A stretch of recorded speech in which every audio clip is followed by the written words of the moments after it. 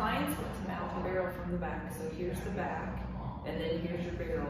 You wanna, you can hold on to where the grippers are on the barrel, and you wanna set your pubic bone down on the barrel, and then push yourself up, bringing one hand and your second hand down to the ladder.